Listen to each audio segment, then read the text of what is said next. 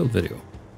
We are on Haut Beyleron and we are going to be building a vineyard. Now we have purchased all of the land in front of us, which I'll quickly show you on the map.